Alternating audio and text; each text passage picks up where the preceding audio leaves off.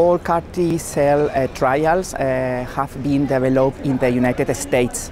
Uh, Europe has not participated in these trials.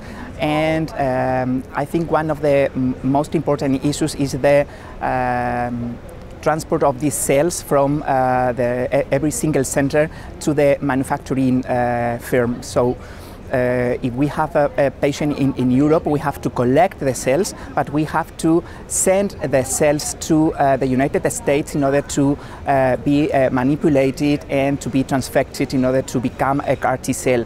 And sometimes we do not have time enough in order to uh, wait uh, for the cells to come to our institutions and sometimes we have to think about giving a salvage regimen before giving the cells. So I think it's uh, an issue that we have to address in the near future.